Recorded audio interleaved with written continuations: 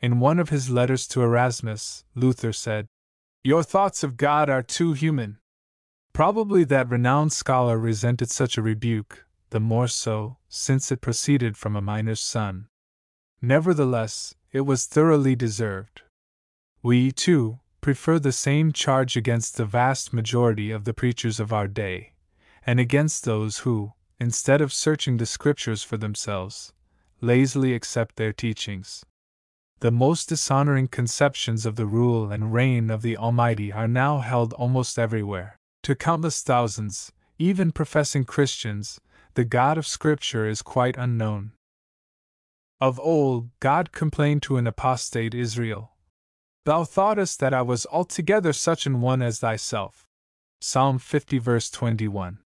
Such must now be his indictment against apostate Christendom. Men imagine the Most High is moved by sentiment, rather than by principle. They suppose his omnipotency is such an idle fiction that Satan can thwart his designs on every side.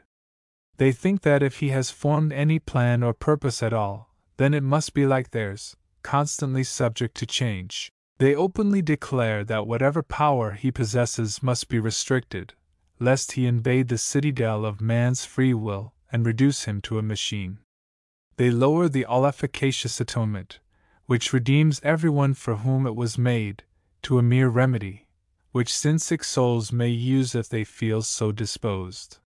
They lessen the strength of the invincible work of the Holy Spirit to an offer of the gospel which sinners may accept or reject as they please.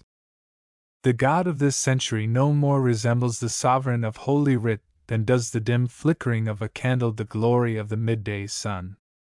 The God who is talked about in the average pulpit, spoken of in the ordinary Sunday school, mentioned in much of the religious literature of the day, and preached in most of the so called Bible conferences, is a figment of human imagination, an invention of maudlin sentimentality. The heathen outside the pale of Christendom form gods of wood and stone, while millions of heathen inside Christendom manufacture a god out of their carnal minds. In reality, they are but atheists, for there is no other possible alternative between an absolutely supreme God and no God at all.